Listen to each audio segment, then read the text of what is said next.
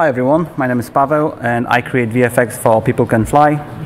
In the past year or two, uh, me and my colleagues, uh, we work on the Vertex animation uh, textures pipeline. We explored that because we wanted to find a way how we can transfer complex geometry from Houdini into the game engine.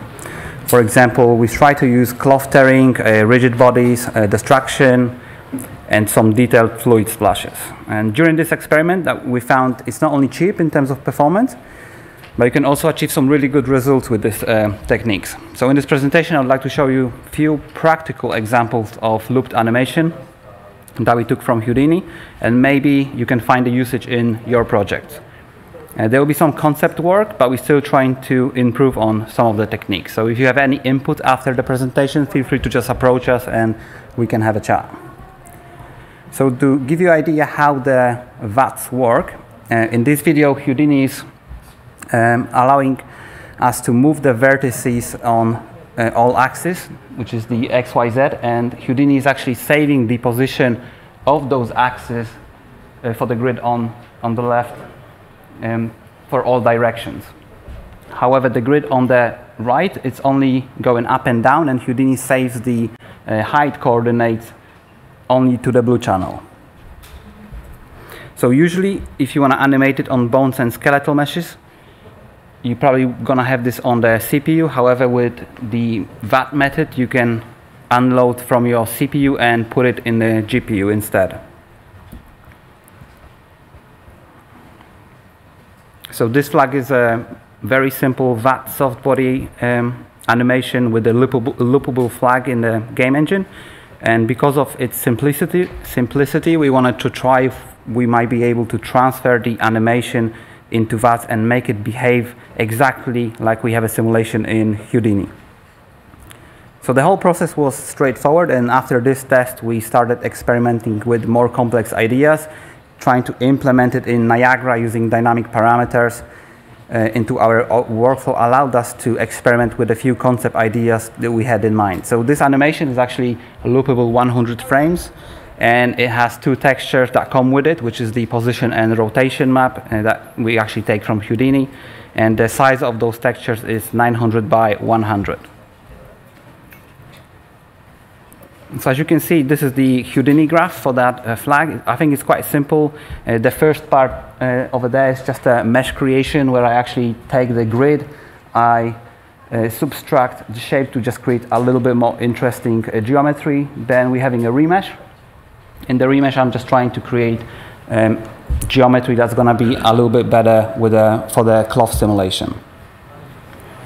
And then I'm just running this through the Vellum solver, adding some pop wind and some noise uh, animation.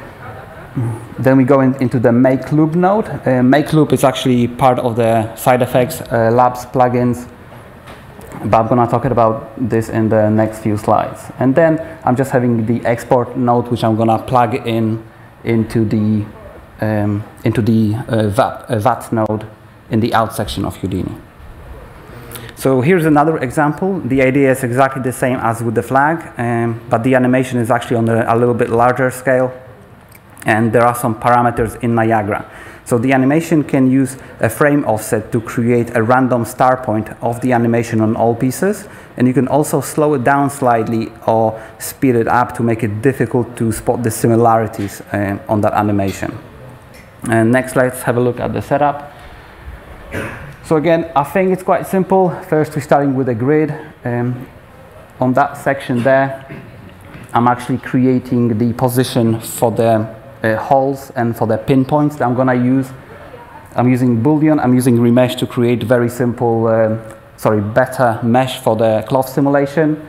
And inside of the Vellum solver, I'm just having a pop wind to add some random um, animation for the cloth and the direction for the wind as well. So I think this technique might be really good if you have a lot of instances in a scene and you just want to randomize them, which you can uh, use the dynamic parameter in Niagara. And when exporting VATs, you need to have a SideFX um, Labs plugin installed, as you will need to access the uh, VATs node. Um, overall, the SideFX Labs plugin, it contains many useful nodes, especially for us in games, but I noticed that a lot of people in films start using them uh, as well. The next step is to add a VAT node the, into the out section of Houdini. So it's actually there. So once you activate the plugin, you go to shells and you try and find the SideFX lab. You can, um, it's gonna appear on your shells. Um, then you're gonna have a, an icon which is gonna be update toolset. If you don't have this installed, uh, you can just click it and install it. Your Houdini, Houdini is gonna restart, and then all the SideFX labs nodes starting to appear in your um, in your version. So once you activate it, you just go into the uh, out section. You can press tab and call the vertex animation textures. You plug in your export node into the sub path and if you're doing uh, that for the first time, you can just export with the default settings and see if you'll be able to import that into the game engine. So this is the last uh, simple example I want to show you um, how you can create plans which you can add gameplay elements to it. So I've added some sports VFX, uh, some gradient, uh, emissive color, and also randomized the animation speed and scale over time in Niagara. We could create simple logic and make the plants to animate faster uh, based on the player position. Uh, same with the sports. Mm, as the player gets closer, we could release the sports and damage the player while increasing the intensity of that uh, gradient emissive. And here's the setup for this. Uh, the workflow overall it's uh, very similar to the previous examples. The whole animation fits into 100 frames, which you can offset and randomize in Niagara with a dynamic uh, parameter.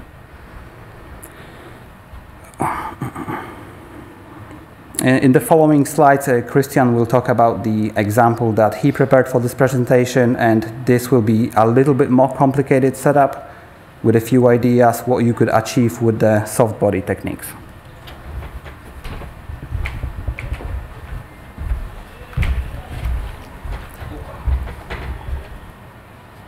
So, uh, hi everyone.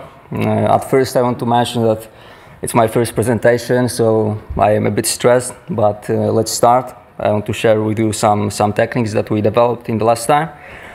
So, yeah, hi, I'm Krystian and now I want to show you how we can extend the techniques that uh, Pawel uh, just showed to you. And basically with uh, the VAT textures, uh, you can also export uh, baked destruction simulations from Houdini. And the baked simulation is an excellent approach, but with it comes a lot of limitations like low flexibility and repetitiveness because since the entire movement and uh, geometry is saved in textures, it looks uh, the same every time. So we are looking at a more flexible solution that would allow to incorporate the randomness and adaptation to different scenarios. And we come with, with a solution to use uh, VAT textures only at the beginning stage of a destruction, where we basically build the geometry using it. And uh, I want to play this video actually right now. Uh, the entire simulation is driven by particle system. That's uh, what you see here. This is a Niagara particle system. Uh, and uh, using such approach with particles opened many new doors on our way to experiment and try to push things further. And uh, now I want to show you how the effect uh, was born from our explorations of this technique. Basically, uh, we're using a sphere projection technique where each piece of a fractured geometry is built from a sphere that is projected on that particular mesh. Uh, I can play the video actually, sorry. And uh, here you can see, basically it looks like this, but we have a, a sphere that is marked as a purple color here. And this is basically the geometry of this sphere uh, projected on a target piece, which is uh, uh, represented by the green color here. And you can see that by just doing it, we are able to uh, take the vertices from a sphere and each chunk will have the same uh, count of vertices. So with this, we will be able to use the, the VAT uh, technique that Pawel showed you before. So um, and the information how far the, the vertex uh, should travel in this direction that you can see is represented by the yellow arrow is uh, basically stored in the in the VAT texture. Mm. Yeah, sorry, but because it's it's kind of hard for me to describe this, but uh, basically we are wrapping each piece of a fractured geometry with a sphere.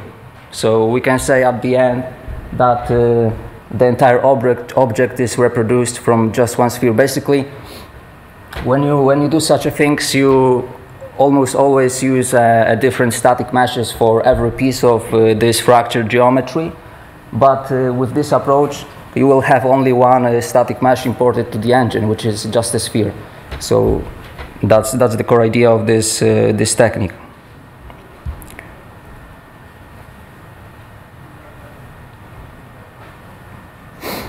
And here you can see that uh, the direct projection doesn't produce a perfect result.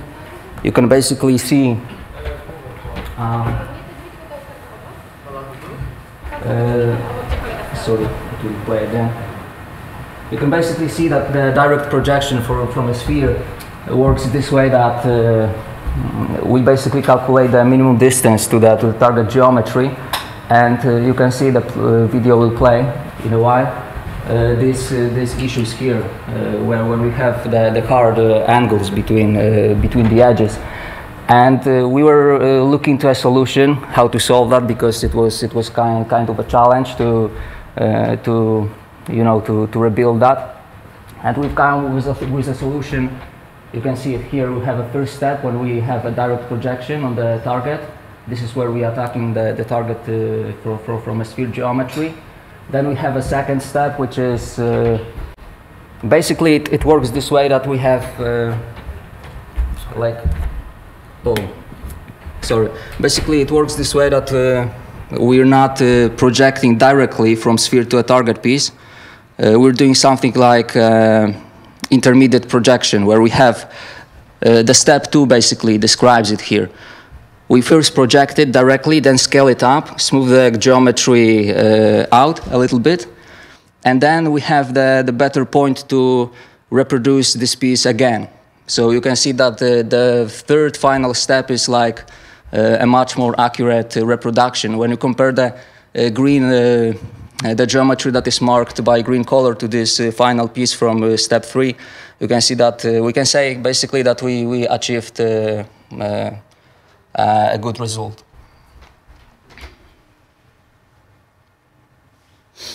And here you can see how with a single sphere we can iterate on every piece of the geometry. Uh, it's kind of hard to grasp uh, when, when you look at it probably, but you can imagine that every piece uh, represented here, it's, uh, it's, a, it's a part of a fractured mesh. So basically when you fracture a mesh to 10 pieces, sorry, but uh, each piece will be represented by this single uh, fragment. And uh, we basically iterate on this fractured object. Uh, we iterate on every piece, and inside this loop, we're using just a single sphere input that is uh, projected on this target piece that is uh, currently in, in, the, in the iteration. So yeah, that's how it works. You can see how, how flexible the sphere is that, sorry, because I didn't play the video. You can see that uh, we're using just a sphere with about uh, 642 vertices and we are able to reproduce every piece here almost perfectly. Of course, you can see, for example, here, uh, it doesn't quite uh, match uh, perfectly, but uh, you know, of course, with this technique comes a lot of limitations, but it's, it can be a, your, your another arsenal to, to do such, uh, such things.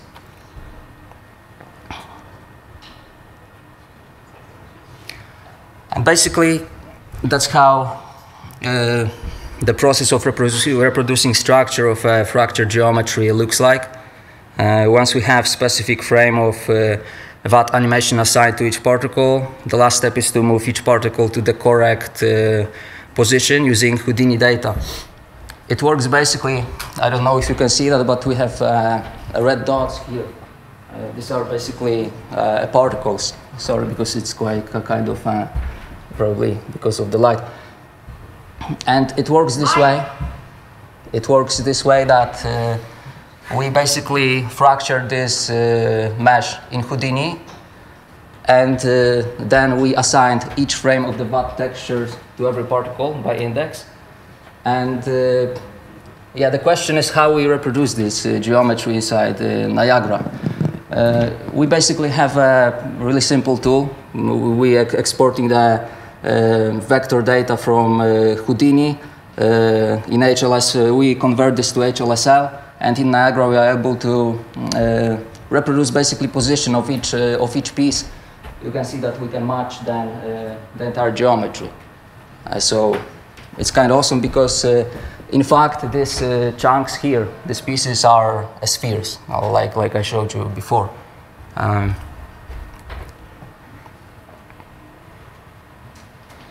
yeah, and uh, why particles? Yeah, because uh, basically with uh, with baked destructions comes a lot of limitations. Like for example, when you simulate something inside Houdini, um, you basically have, for example, simulation prepared to, for on the on the flat ground, and you can't use it basically in different scenarios. Like, uh, uh, for example, when you have something like stairs or uh, uneven terrain, and we are looking for a solution where we have uh, when we can simulate at runtime. And uh, with Niagara, uh, we only basically care about this reproduction at the beginning, and then everything simulates at real time. So we have collisions and, and other things like that. Can you speak to the microphone? Oh, sorry, guys. Can you can you heard what I was talking about previously? Pointing out to your microphone. Yeah, but but every, sorry, sorry. I it's my first talk, but uh, have you heard what I was talking previously, or or it was just? Uh... We heard it, but it's not in our report. Okay, okay. Sorry, guys. And uh, yeah, here you can see basically that's uh, all the asset you need to reproduce uh, this this kind of uh, uh, fractured uh, geometry in Niagara, or you can even do it in, in other uh, scenarios. But basically, here you can see that we have a material instance that uh, Pawel was talking about previously. Uh, it uses the VAT soft body function in it, and this is this is like the core idea here. This what you can see here, it's just a sphere. So we use this as sphere, and here is a position texture uh, where we, with this uh, texture, we can deform each vertex of this sphere to match the topology of, uh, of the chunks that I was showing you in the previous slide. So basically, almost any, when you look like how other people approach this kind of situation is that they will import each uh, piece probably as a separated uh, static mesh. And uh, here we have just the sphere. Yeah? And uh, now I want to uh, now I want to make a brief breakdown of this effect. And uh, yeah, to create a lightning effect, we can just uh, randomly match particles to pairs of two, uh, where one particle is uh, a source and the other is the target. Then we can basically calculate the difference between them as well as the distance. So basically when we subtract uh, the vector of a target piece and uh, the source piece and the target piece, we will have the direction from one to another. And then we are using it to basically adapt dynamically this red line, which is basically a sprite here. Uh, and uh, of, co of, course, we also, with this distance calculated, we are able to stretch it dynamically between them. So you can see that they are almost like attached, stick together and uh, yeah. So we, we have also some, some, kind of sparks here. This is like a, a simple uh, detection when this uh, uh, target piece uh, receives the lightning, then we can uh, spawn some particles. And the force, which is what is interesting here, that the force of this green particles is applied this way that um, the direction of its force is basically uh, push toward the, the source piece. So uh, that's kind of kind of cool solution here.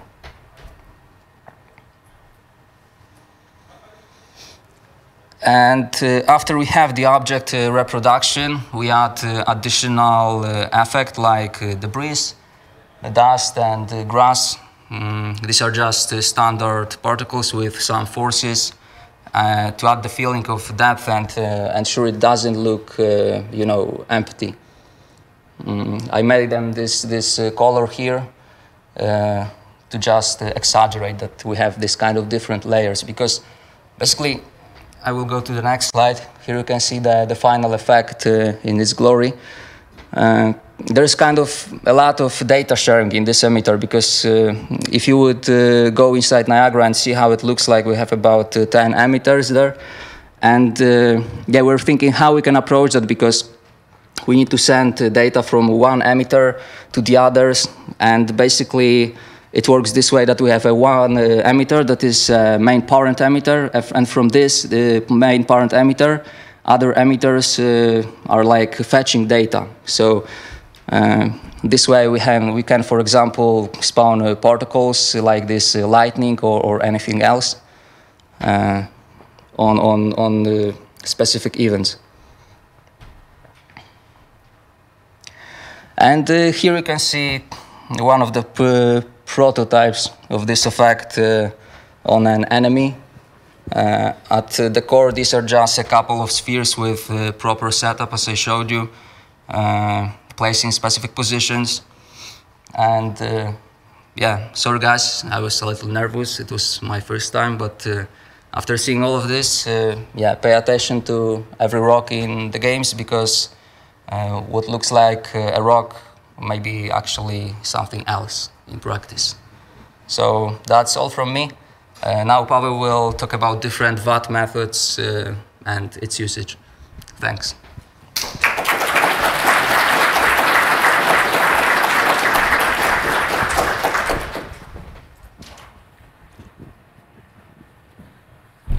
Okay, look.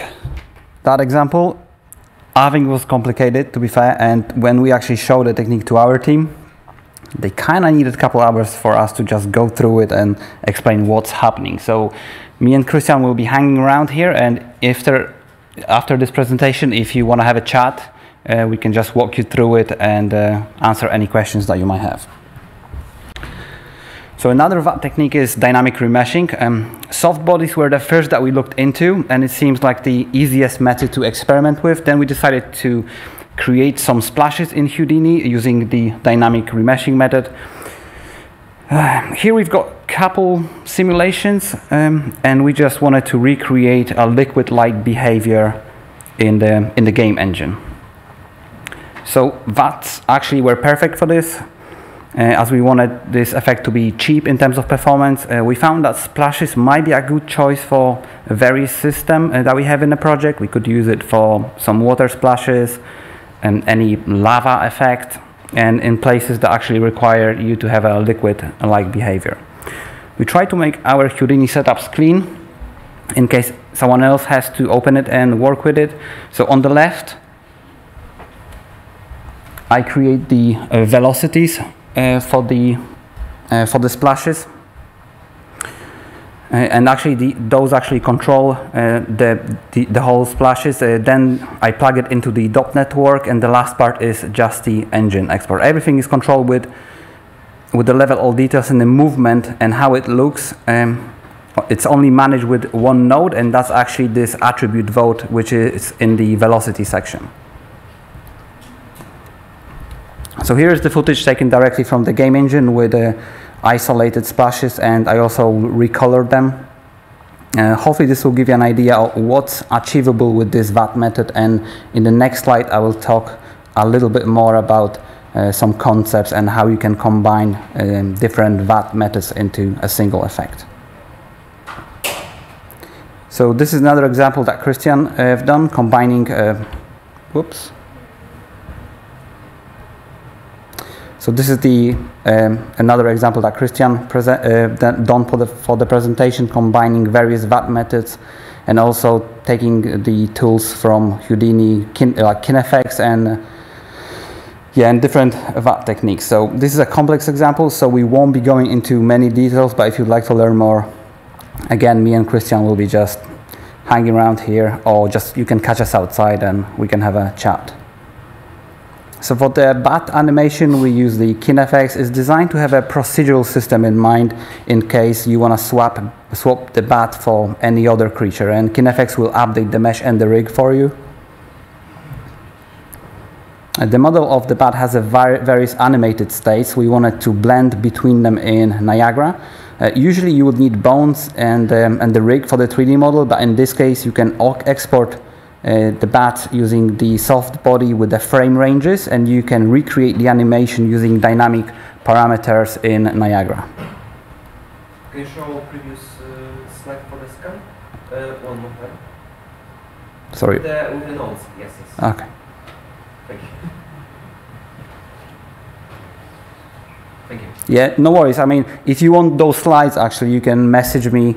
Uh, I'm going to leave my uh, email address and I'm happy to just send it to you if you want to recreate it. I mean, the whole idea behind this presentation is to you recreate very simple example like just a flag, see if you can actually import it into game engine and from there you have an idea how to work with VATs and you can experiment with the different methods. And so for the web, we use the clustering technique, which is soft body. And I think it was just a really good choice um, for this. And we decided then what frames of the animation to play in Niagara so we can match our timing with the gameplay elements. And here is the final example. Uh, we're just trying to create like a, a, hive behavior and you can spawn a lot of them. You can see there is a, a bunch of offsets as well, which just gonna you know, hide the similarities between the animation. So in my opinion, currently the VATS methods are amazing, but it comes with a drawback. So the first one is lack of LODs.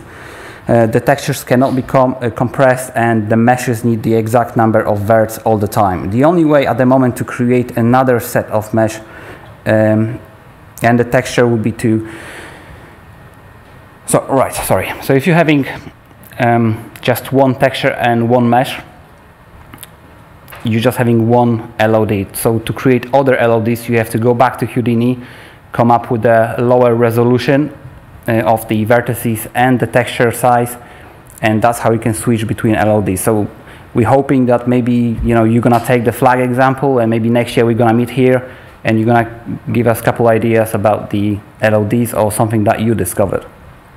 Next is the amount of uh, vertices. Um, and frames that we use. So the more the vertices you have, the, the bigger the texture is going to be. And also it also depends how many frames you have in your animation.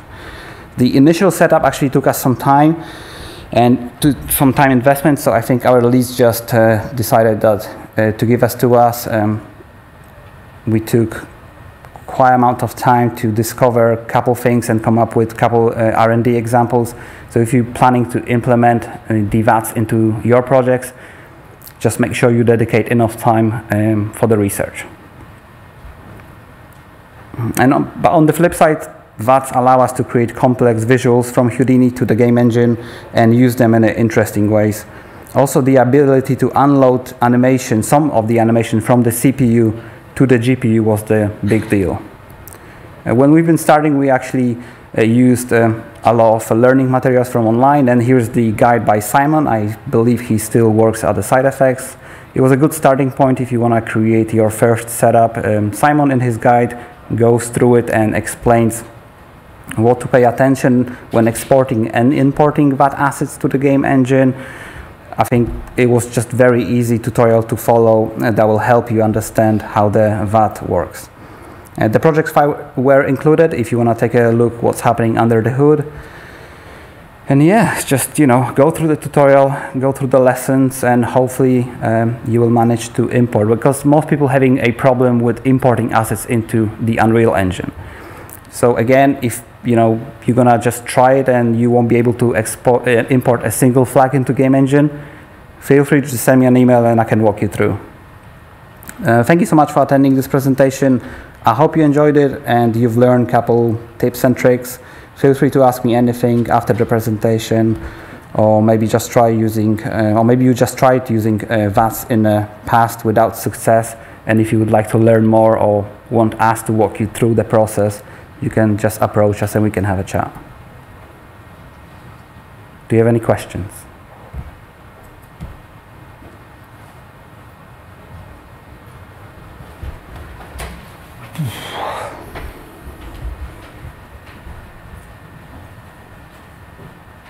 Uh, sorry if you. Just. Sorry if you mentioned it before, uh, but uh, do you compress the VAT texture in the engine or how does that work? Does it cause problems, janky animations, stuff like that?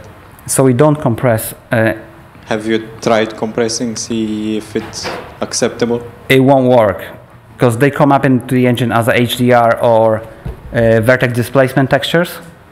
So they can't be really compressed. I think maybe there is a way. We just have not discovered it. But we, to be honest, we just very deep in those uh, VATs, and we're gonna be exploring them in the future. But at the moment, you know, to order to create a bit more uh, optimized version, you have to go back to Houdini, reduce your vert count, and you're gonna have a smaller texture.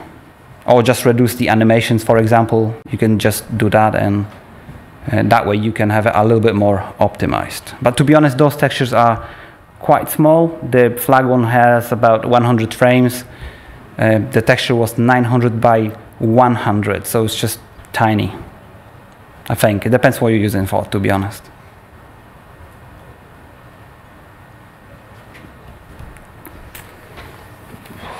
Hi, thank you for uh, thank you for your talk.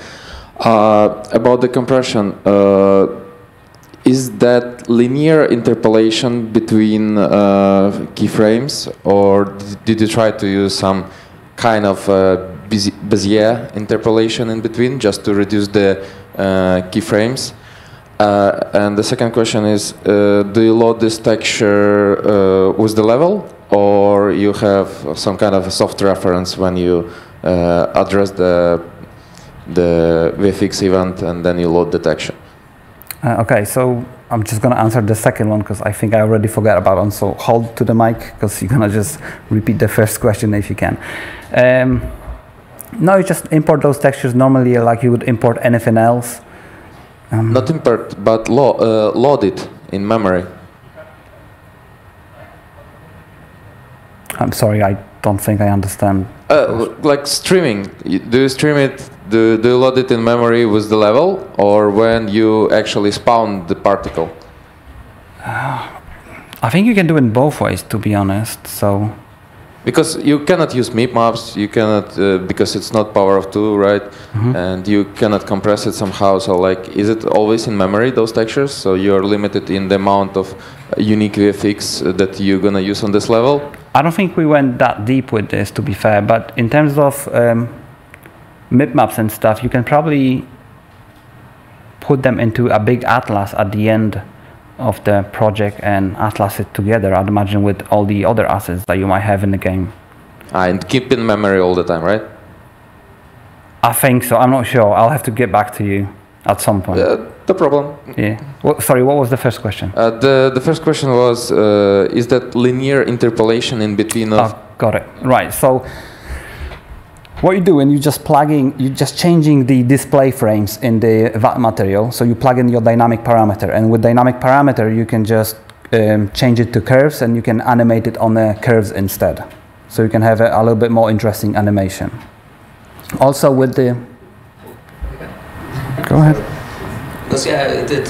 I, I forgot actually about it, but uh, the way how it actually works is uh, uh, when you have this uh, VAT function, yeah, that I was previously showing you guys. It's like uh, you can have the one piece and the second one uh, on the second frame. Uh, So you basically have uh, two coordinates of this texture, uh, with one and two, and we basically make a lerp between them and we connect this uh, output to the world position offset, and that's that's basically it. It answers your question. Yeah, but did, did you try uh, any more complex complex uh, interpolation in between so you will have those like uh, more smooth interpolation, not like uh, without steppiness, so you can use less less keyframes and less uh, rolls. Yeah, but uh, you are talking bit, uh, about uh, an animation itself, a blending that it uh, stops. Uh, you know, just uh, we have a sharp stop at that animation, or you are talking about like shape uh, blending, shape smoothing between Mm, different. Lerping in between frames, so you can use less frames, but the animation itself will be uh, a same smooth. Uh, Oh yeah, sorry, I get it. It- It's basically with uh, VAT uh, 3 that was, uh, you know, incorporated some time ago. You have this automatically. yeah, you can just click a checkbox that you want to blend between frames and yeah, it looks like this. You can basically export animation at 24 frames and you have basically blending between specific frames. So that's. Probably you have to reinvent the the MIP maps for what textures and it will just keep some frames on a distance and that will be analog of MIP maps. Yeah, we're just gonna wait a year. You're gonna come back to us, and we're gonna have a chat.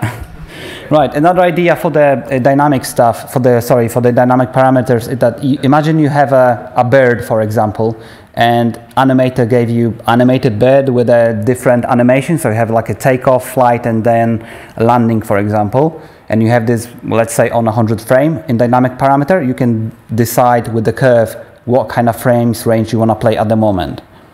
So the next step for us will be probably creating like a, a little bit more intelligent system, like a, a some animals or maybe a birds.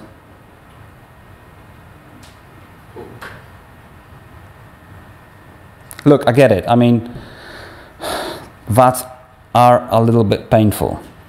But to be fair, once you just import one or two meshes into the engine, you will get an idea. But please start with the soft bodies. This is like the simplest way that you can start with. You're gonna start with dynamic remeshing, you're just gonna give up. And you're gonna meet me next year, you're gonna punch me. So start with the soft bodies.